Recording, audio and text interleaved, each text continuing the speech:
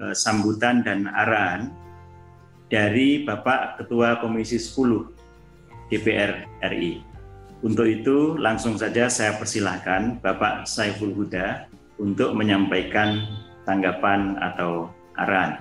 Silakan. Terima kasih Pak Sekjen, Pak Ainun. Assalamualaikum warahmatullahi wabarakatuh.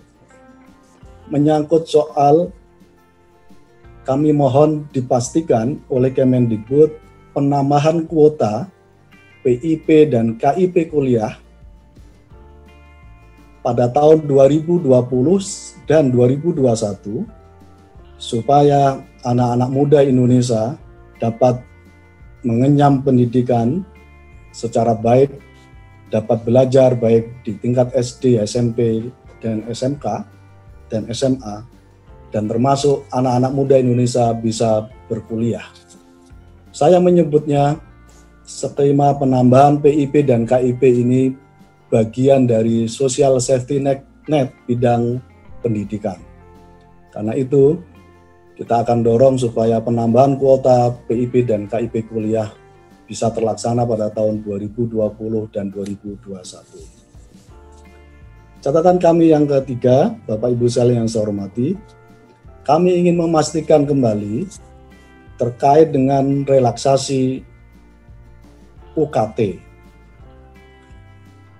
Kami minta supaya ini bisa terlaksana dan terimplementasi dengan baik terkait dengan relaksasi, peringanan, bahkan penurunan UKT, uang kuliah tunggal ini betul-betul bisa terlaksana di setiap kampus guru Indonesia.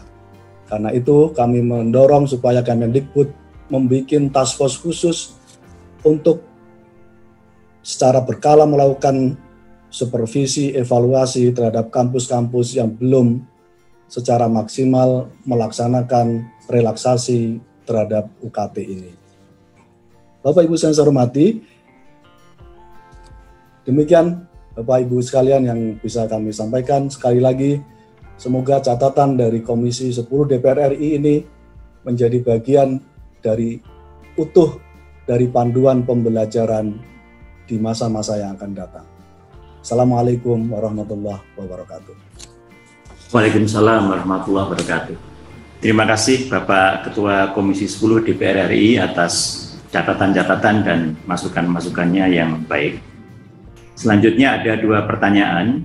Pertama adalah bagaimana dukungan kepada pemerintah dalam penerapan tahun ajaran baru 2020 di era memasuki kenormalan baru. Silakan Bapak Ketua. Terkait dengan ini saya kira seperti apa yang tadi sudah kami sampaikan supaya anak-anak muda kita masih bisa berjalan maksimal, kami berharap bisa bersekolah dan bisa berkuliah program PIP dan KIP kuliah supaya bisa diakses sebanyak-banyaknya untuk anak-anak Indonesia.